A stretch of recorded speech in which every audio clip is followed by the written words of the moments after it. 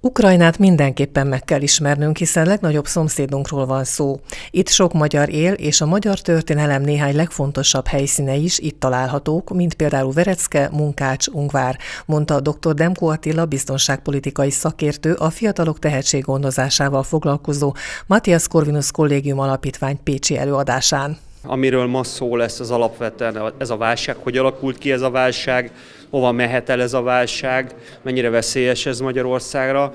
Úgy gondolom, hogy ezek olyan témák, amiről itt Pécsen is, nem csak a keleti határaink mellé nem árt, ha tudunk. Úgy itt, hogy Pécs mellett volt egy időben, ugye Jugoszláviában volt háború, sajnos nagyon úgy tűnik, hogy Ukrajnában is újra kiéleződik a helyzet, és akár egy komoly háború is lehet belőle, ami elérhet, ha más, hogy nem, de menekültek útján Magyarországra. A legfontosabb az, hogy Magyarország ne keveredjen bele ebbe a konfliktusba, hangsúlyozta az MCC geopolitikai műhelyének vezetője. Tehát azt gondolom, hogy, hogy a kormányzati állásfoglalás az egyértelmű, hogy Ukrajnának mi nem nyújtunk katonai segélyt, kizárólag humanitárius úton fogunk segíteni, ha kell, tehát nyilván a menekültek befogadásával adott esetben, vagy humanitárius szállítmányokkal.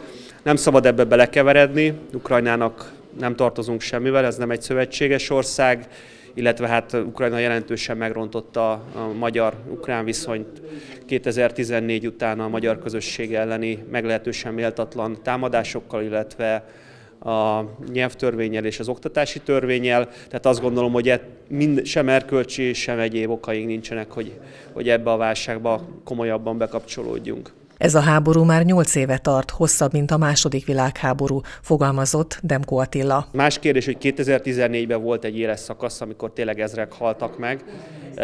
Utána 2015-től volt egy olyan szakasz, ami kevésbé volt éles. Én magam is voltam a frontvonalon, és ugye láttam, hogy azért lövöldöznek, meg tüzérségi csapások is vannak, de azért ez nem, nem úgy úgy kell elképzelni, mint hogy állandóan ment volna, hanem egy-egy lövés, egy-egy, egy-egy robbanás.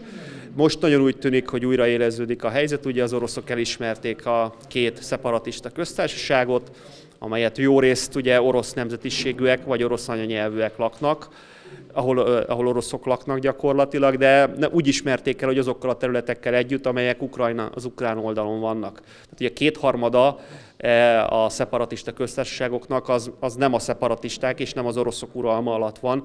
Tehát ez, ez lehet a következő lépés adott esetben. Nagyon remélem, hogy Vladimir Putyin nem dönt így, de ezt teljesen nem lehet kizárni. Az előadáson a kárpátaljai magyarság tragikus sorsáról is beszélt a szakember. Meg kell azt érteni, hogy nem, nincs ilyen egyébként, hogy kárpátaljai magyarság, ők mi vagyunk. Tehát Pécsen el fogom mondani, hogy Pécs is lehetne nagyon könnyen a szerb város, úgy, ahogy Szavatka vagy Zenta.